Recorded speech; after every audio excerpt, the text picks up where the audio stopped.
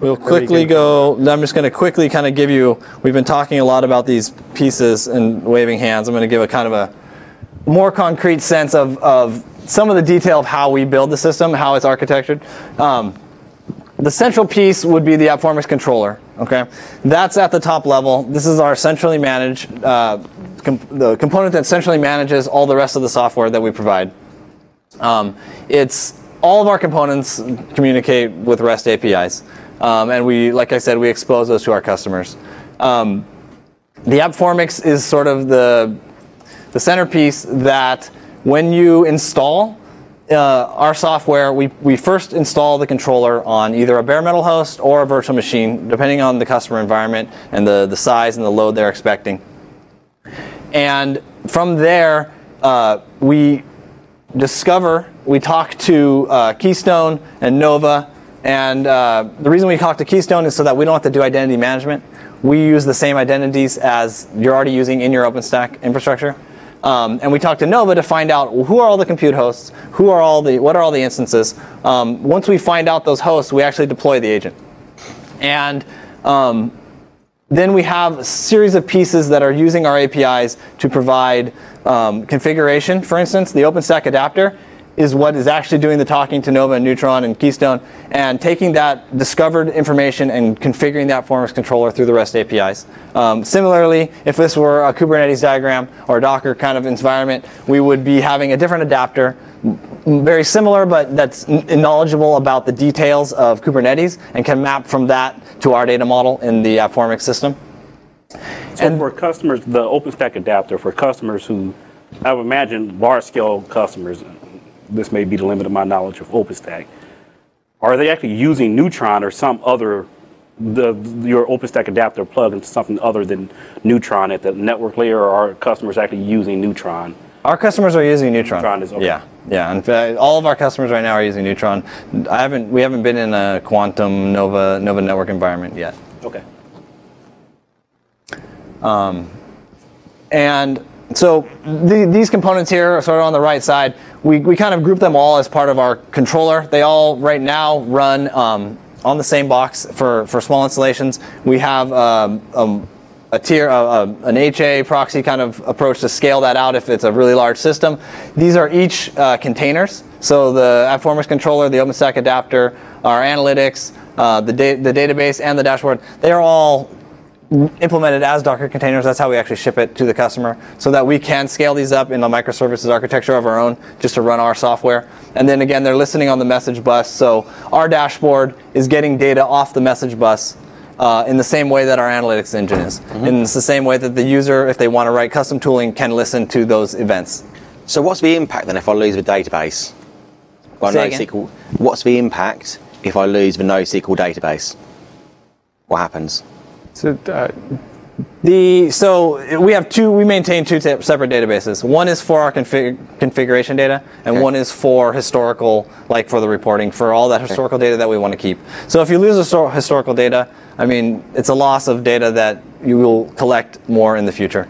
Um, if you lose our configuration, um, we would have to be re- we would have to rerun discovery but you would lose like user configuration if they've configured an alarm or a widget. And um, we do, like I said, allow for a clustered approach, so we can do an HA-based thing so that you have redundancy. Um, we can have that that NoSQL database we're using Mongo right now most commonly. You could have that be you know a multi-node Mongo installation that if one goes down, you still have your data. You said you would lose user configuration, right? I mean, if you had a single Mongo node and that did go down, you would you would lose that user data if it wasn't you know locked on some disk volume or something that you could retrieve later. Back it up, man. Yeah, that's my advice. so you guys came out of stealth mode what middle of this last summer, pretty much yeah. June, June. June. Was that that was uh, so Kilo was the release then for OpenStack? Is that right? Yeah. Yeah. All right. So recent release just came out, right? Liberty. Uh, do you guys support Liberty? Yeah. We're working on that right now. I mean, we, we have installations with Juno and Kilo, um, and we're working on testing it with Liberty. What's the timeline that you guys see? It's been out since like middle of October, right? What's your timeline to support that next release cycle as OpenStack revs? So, can I get that? Yeah. So this was like while we were building our software, this was one of the key things for us. So any OpenStack API that we use, uh, we made sure it's backward compatible and will be the same across all releases. So if you have a Liberty cluster right now, we can install on it. Right? We do not use any API from OpenStack that's not backward compatible. We have made no changes to OpenStack at all. Okay. So it sounds like you're doing obviously quite a lot of ongoing development work. How do I update my existing AppFormix infrastructure? So Have one? No, I don't have one, but hey, I might have one after today. It's all free, isn't it? So I guess I just lost my job. You just have to work until you pay off the license. Yeah. So our deployment is um, we use an automated deployment that's based around Ansible right now, and uh, the the database is preserved. So when we redeploy our containers, they're connecting to that same database. They're using that data, you know, and assuming there's no schema change that we haven't made in that release. If there is, we need to do an update. Um, and if and we would also be pushing out the agents to the host automatically. Again, we use Ansible for that underneath the hood. Yep. Um, and so th- these containers, we, you know, you can basically tear one down and bring one up, and because it's talking to this Mongo service, that Mongo service stays running. So how how long would you say it would take on average for that to happen then on a typical host? Oh, it's quick. It's very cool. We'll show you Just the show you. installation. Let's- In let's fact, do it. I mean, why don't we just okay, do the let's go to the installation, installation. right now and show you like what it looks like? we are taking time. Yeah, let's go. We're going to do a live demo right now. yeah. Yeah.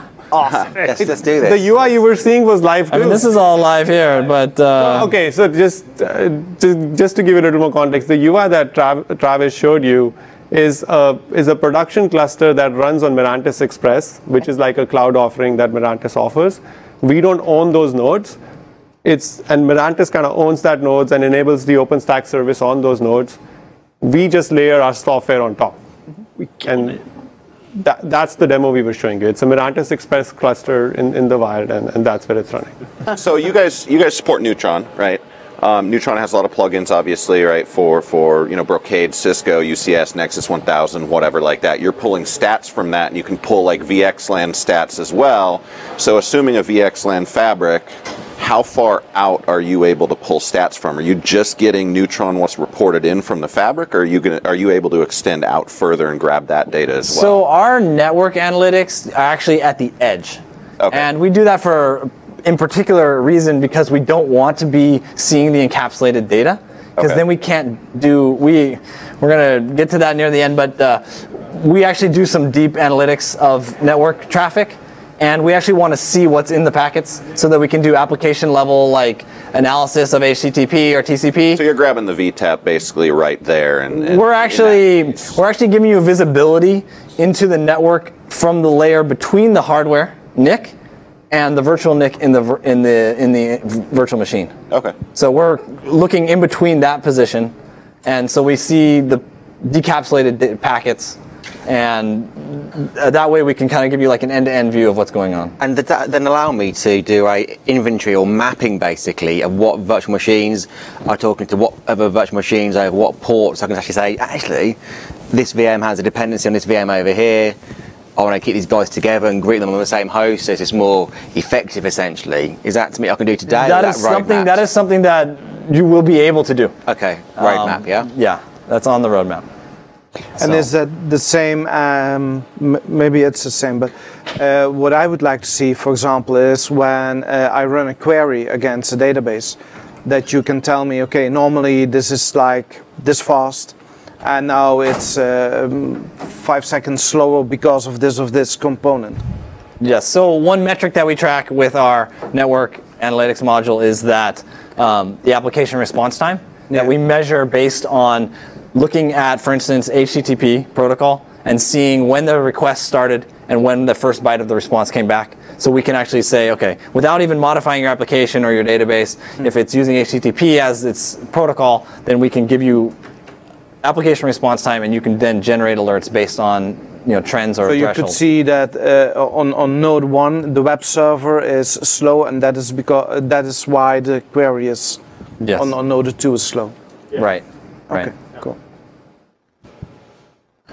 Um, so uh, here I'm going to go through what it looks like to install our software. So we actually worked on this uh, installation experience after going out to customers the first few times, and um, you know we started out with some scripts and a config file and a README, and you know after I think the third or fourth installation, we saw you know a few of the folks with the checkbook kind of look at that and walk out of the room while we were installing. And you know that's not the ex- that's not what you want to happen when you're demoing to a customer. So what we did is retooled this to be much more streamlined much simpler and um, i hope you'll agree. Um, what i start with is we collect a few basic pieces of configuration information about your openstack cluster. Um, so this is the an ubuntu uh, uh, OpenStack distribution, we have um, you know a few hypervisors. I think, of course, I got to log in. Admin, of course. Yeah, twice. I don't know why. That's a Horizon fun thing. As I was saying, so there's uh, two hypervisors, uh, two compute nodes in this OpenStack cluster and um, you know there's a f- there's a handful of instances I believe. Um, it looks like there's three in this project, and there's several other projects uh, in in the system. So what we're going to first we do is say, okay, what is the host name of the OpenStack controller where Nova is running? What's the administrator's uh, project? It's also some people call tenant, and then the Keystone machine, and then the credentials for the administrator. Next, we just need to know where um, the AppFormix controller has been installed because this dashboard could be served up. It doesn't have to be served up from the controller itself. And now what's happened is our controller and our OpenStack adapter have gone out to Nova and Keystone. They've logged in and they've found these are the hosts that are in this uh, OpenStack installation. And we can select a subset of hosts that which we want to deploy our agent to. Um, this is useful for some customers that have a large cloud and they just want to try it out, like maybe one host or two hosts at a time. Um, and you can add more later after you've done the initial installation. In this case, I'm just going to select all of them. And you can review the data, and then we can start the process of discovery. So now what's happening is we're continuing to go talk to Nova um, and ask more information about what's in this OpenStack cluster. We found five projects. We found two hosts, three instances, and five host aggregates. And then finally we can log in. You missed a little. Yeah, that looked complicated. What's that? No, I was saying that that wasn't complicated at all. Right. So we've like we've worked on that and really tried to make it smooth. But under the hood, what's going on is that uh, once we've found those hosts, we're actually using Ansible, and Ansible has this notion of dynamic inventory that you can tell it this is you can use, give it a script and say uh, these are the hosts that are in my environment, and we're using Ansible to go and push out that software, the uh, agent that runs on each uh, So compute this has then installed the agent. It's not just gathering the app. That's uh, right. The OpenStack stuff. It's gone off and done the agents as well. Right. Oh, since this is a connector, I'm sorry, go ahead.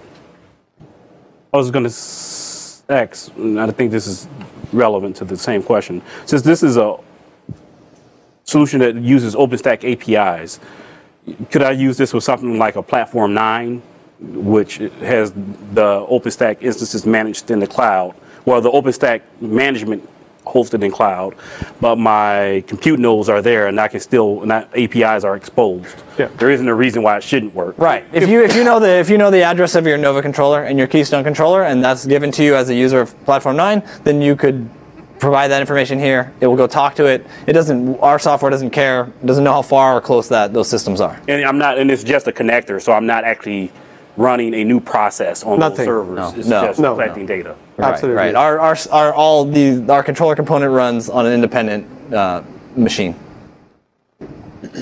And so I logged in with those Keystone credentials, the same that I use for Horizon, and you can see that this is what we was showing. The summary just showed us that it discovered. You can see the hosts, you can see the instances, um, and then just to kind of show you uh, the capability of our agent, uh, kind of beyond OpenStack, what we're going to show you is that um, you can actually go and add a host in the public cloud. Like we can deploy our agent on another server. And uh, my colleague Harshit is going to show us uh, an Azure system where there's Azure. I love Azure. Sorry. Uh, You haven't been. I actually built some of this, so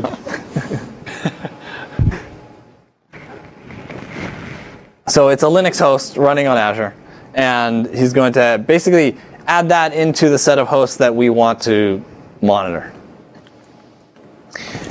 How does that talk back though to your on-premises solution? What I suppose the question I'm asking is, what security is wrapped around that agent talking from Azure back to my on-premises?